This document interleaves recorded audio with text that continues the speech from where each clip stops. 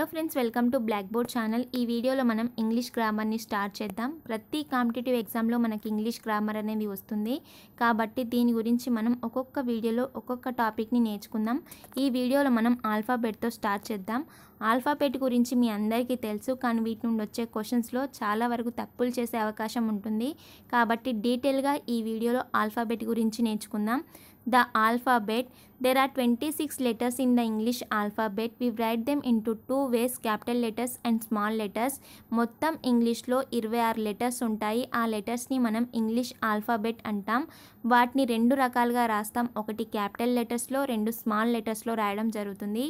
Each letter of the alphabet has it own sound we divided all the letters into two groups vowels and consonants ప్రతి ఆల్ఫాబెట్కి దానికి సంబంధించిన sound అనేది ఉంటుంది. అంటే ఏ ఆల్ఫాబెట్కైనా ప్రత్యేక సౌండ్ అనేది దానికి అంటే స్వతహాగా సౌండ్ అనేది కలిగి ఉండడం జరుగుతుంది. ఈ ఆల్ఫాబెట్స్ అన్నిటిని మనం టూ గ్రూప్స్గా డివైడ్ చేయడం జరిగింది. ఒకటి ఓవెల్స్ రెండు వచ్చేసి consonants. The five letters A E I O O and U are vowels and other twenty one letters are consonants. ఇందులో ఏ అండ్ యూని ఓవెల్స్గా మిగిలిన ట్వంటీ వన్ లెటర్స్ని కాన్సోనెంట్స్గా గ్రూప్ చేయడం జరిగింది. Letters in the alphabet follow a particular order such as B comes after A, C comes after B, D comes after C. This is called the alphabetical order. ఈ alphabetical letters అన్నీ ఒక క్రమాన్ని పాటిస్తాయి అంటే ఏ తర్వాత B రావడం B తర్వాత C C తర్వాత డి ఇలా ఒక క్రమాన్ని పాటించడం జరుగుతుంది ఈ క్రమాన్ని మనం ఆల్ఫాబెటికల్ ఆర్డర్ అనడం జరుగుతుంది for example ant bear crow deer eagle frog and so on ఇలా ఆల్ఫాబెటికల్ లెటర్స్ అన్ని ఒక క్రమాన్ని పాటించడాన్ని ఆల్ఫాబెటికల్ ఆర్డర్ అనడం జరుగుతుంది. In a dictionary the words are arrange in the alphabetical order. దీని నుండి డైరెక్ట్గా క్వశ్చన్ వచ్చింది. డిక్షనరీలో వర్డ్స్ని ఎలా అరేంజ్ చేస్తారు అంటే ఆల్ఫాబెటికల్ ఆర్డర్లోనే అరేంజ్ చేస్తారు అంటే ఫస్ట్ ఏకి సంబంధించిన పదాలు తర్వాత బికి సంబంధించినవి తర్వాత సికి సంబంధించినవి ఇలా ఒక క్రమాన్ని పాటిస్తూ వర్డ్స్ని అరేంజ్ చేయడం జరుగుతుంది. దాన్నే ఆల్ఫాబెటికల్ ఆర్డర్ అంటారు. డిక్షనరీని కూడా ఆల్ఫాబెటికల్ ఆర్డర్లోనే ప్రిపేర్ చేయడం జరుగుతుంది. ఈ నోట్ అనేది ఇంపార్టెంట్ గుర్తుంచుకోండి. Samuel Johnson a dictionary of the English language was a was the first reliable English English dictionary it was published in seventeen fifty five Samuel Johnson యొక్క dictionary అనేది English లా English లాంగ్వేజ్లో మొదట నమ్మదగిన dictionary అన్నమాట. దీన్ని ఎప్పుడు ప్రచురించారు అంటే పదిహేడు వందల యాభై ఐదులో ఈ శాంబుల్ జాన్సన్ డిక్షనరీ ప్రచురించడం జరిగింది. దీని నుండి కూడా డైరెక్ట్గా క్వశ్చన్ వచ్చింది. కాబట్టి ఇంపార్టెంట్ గుర్తుంచుకోండి. డిక్షనరీలో వర్డ్స్ని ఆల్ఫాబెటికల్ ఆర్డర్లో అరేంజ్ చేస్తారు. శామ్యుల్ జాన్సన్ డిక్షనరీ అనేది ఇంగ్లీష్ లాంగ్వేజ్లో మొదట నమ్మదగిన డిక్షనరీ దీన్ని పదిహేడు వందల యాభై ఐదులో ప్రచురించడం జరిగింది.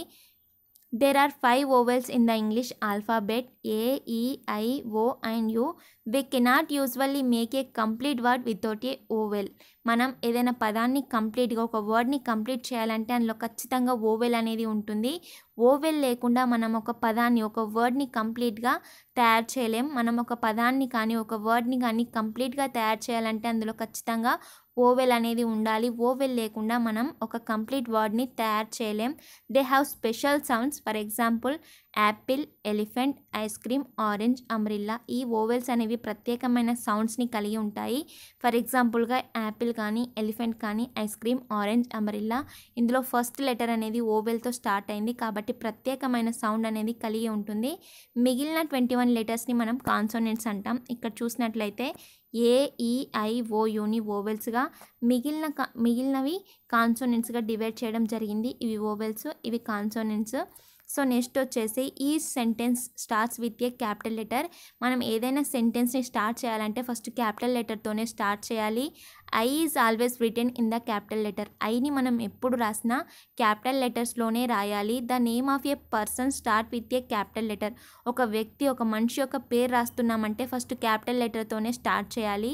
The name of a day start with a capital letter ఒక రోజు యొక్క పేరు రాస్తే దాన్ని కూడా క్యాపిటల్ లెటర్తోనే రాయాలి. అంటే ఫర్ ఎగ్జాంపుల్ సండే కానీ మండే కానీ రాస్తే అందులో సండేలో ఎస్ అనేది క్యాపిటల్ లెటర్ మండేలో ఎం అనేది క్యాపిటల్ లెటర్ ఇలా ఒక డే నేమ్ని క్యాపిటల్ లెటర్తో స్టార్ట్ చేయాలి. The name of a country start with a capital letter ఒక కంట్రీ నేమ్ రాస్తున్నప్పుడు కూడా దాంట్లో ఫస్ట్ లెటర్ అనేది క్యాపిటల్ లెటర్ని ఉపయోగించాలి. ఇండియాలో ఐ అనేది క్యాపిటల్ లెటర్ అమెరికాలో ఏ అనేది క్యాపిటల్ లెటర్ ఇలా మనం ఏదైనా కంట్రీ నేమ్ రాస్తు కంట్రీ నేమ్ రాస్తున్నప్పుడు క్యాపిటల్ లెటర్ని ఉపయోగించాలి.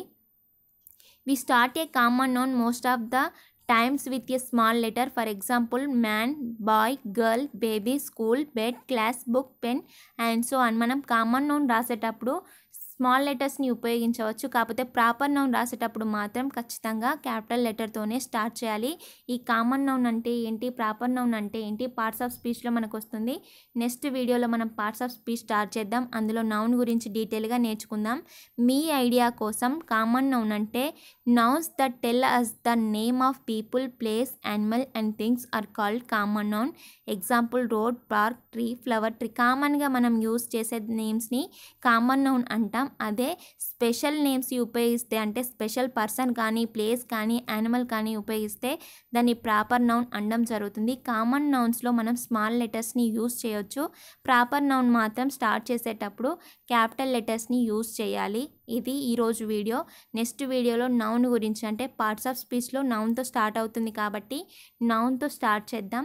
మొత్తం ఇంగ్లీష్ గ్రామర్లో సిమిలర్గా వచ్చే టాపిక్స్ ఏవైతే ఉంటాయో మన ఆల్ఫాబెట్ కానీ పార్ట్స్ ఆఫ్ స్పీచ్ కానీ ఆర్టికల్స్ కానీ యాక్టివ్ వైస్ ప్యాసివ్ వైజ్ కానీ ఫ్రేజెస్ కానీ సెననెమ్స్ అంటెనెమ్స్ కాంప్రహెన్షన్ ఇలా కొన్ని టాపిక్స్ అనేవి ప్రతి కాంపిటేటివ్ ఎగ్జామ్లో మనకు సిమిలర్గా రావడం జరుగుతుంది.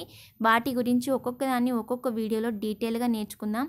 మీకు ఈ వీడియో నచ్చినట్లయితే కాంపిటేటివ్ ఎగ్జామ్స్కి ప్రిపేర్ అయ్యే మీ ఫ్రెండ్స్కి టెట్ కానీ సీటెట్ కానీ కేవీఎస్ కానీ ప్రిపేర్ అయ్యే వాళ్ళకి డిఎడ్ బిఎడ్ చేసే వాళ్ళకి అందరికీ యూస్ అవుతుంది. అంటే స్కూల్ పిల్లలకు కూడా ఈ గ్రామర్ అనేది యూజ్ అవుతుంది. మీకు నచ్చితే వారందరికీ షేర్ చేయండి ఛానల్ని సబ్స్క్రైబ్ చేసుకోండి. Thank you friends thank you for watching this video.